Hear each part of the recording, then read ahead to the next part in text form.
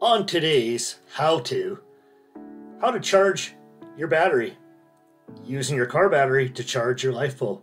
Yeah, that's right. We're going to show you the proper ways of charging it and why we're doing this so we don't discharge the battery and charge actually your car with your with your portable battery. How we're going to do it? With a diode. That's right. Simple as that. Simple diode. Couple cents, you could build all this for under 15 minutes, you guys. So let's uh, let's build it, and I'm going to show you how. And trust me, it's going to be a fun little project. Anybody could do this with a soldering gun. All right, guys. So let's get started here. We have this from Amazon. I'll be putting all the links in the description below. This is basically I got really lazy and I got a, a cigarette lighter adapter, and these are the diodes you're going to have to use. Notice that they're 10 amps. So they need to have the current rating, and they're huge. Here's the actual size of it right here. It's uh, it's it's quite big. And uh, for comparison, this is what a normal diode would look like. That's only rated for about one amp. You don't want that one. Toss them away. You need to have these ones. And again, I'll have all the links in the description below. So what we're doing is we're building this guy right over here. It's going to plug in to the accessory outlet, or us old school people that are calling it cigarette lighters. It plugs in to the vehicle and it's going to be using a power pole adapter plug into your battery. Now, if you guys see my other videos, you'll see I have a battery that has two power pole connections on it. What that allows you to do is to charge while you're actually using your battery. How does that work? Well, your radio is going to take power wherever there's the most power of. So your your battery is usually above the car battery, right?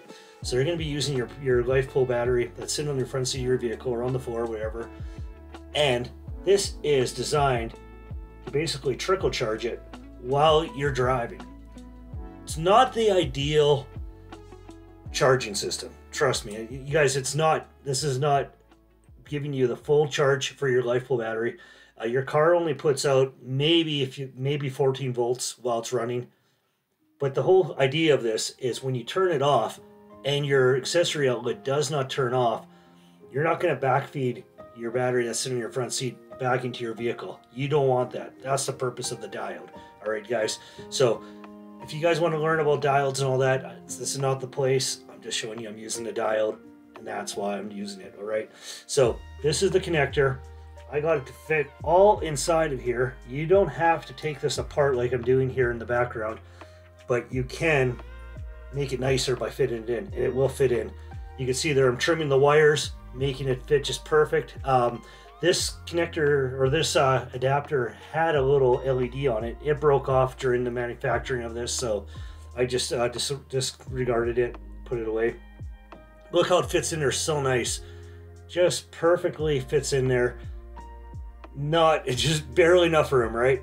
Put the screws back together.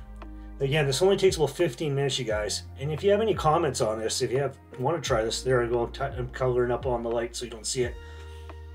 Leave a message or comment in the messages below.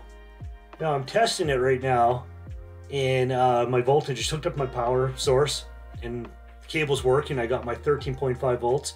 Now I'm using the diode function. Now this is just completely optional but the diode function is going to see the reverse voltage of this diode to see if it's working. So I simply put it on the positive, and on the output of that, it's showing me that I have very low backflow. It's working. So you guys, that's how it's built. Simple as that. Links are below. This guy is getting shipped over to my buddy Ham Hamjazz. I'm going to drop her in the mail, and he needs this for his activations. For now, 73s.